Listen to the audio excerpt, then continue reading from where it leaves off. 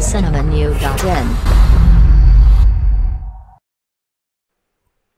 இந்தியாவில் அதிகரித்து வரும் மக்கள் தொகையால் உலக மக்கள் தொகையின் முதலிடம் இருக்கும் சீனாவை பின்னுக்கு தள்ளி வரும் காலங்களில் முதலிடம் பிடிக்கும் ஐநா அறிவித்துள்ளது.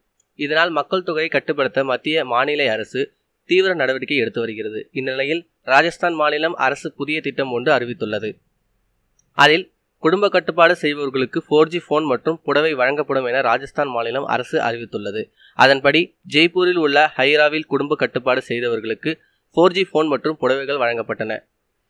இந்த திட்டம் மக்களிடையே நல்ல வரவேற்பை பெற்றதால் மாநிலம் முழுவதும் செயல்படுத்த முயற்சி மேற்கொண்டு வருகின்றனர் இந்த பரிசு திட்டம் அறிவிக்கப்பட்ட பின்னர் ராஜஸ்தான் தலைநகரில் ஜெய்ப்பூரில் இதுவரை எட்டாயிரத்தி நானூற்றி பத்து பேர் குடும்ப கட்டுப்பாடு செய்துள்ளதாக கூறப்படுகிறது. மேலும் இதுபோல செய்திகளுக்கு லைக் மற்றும் சப்ஸ்கிரைப் செய்யவும்.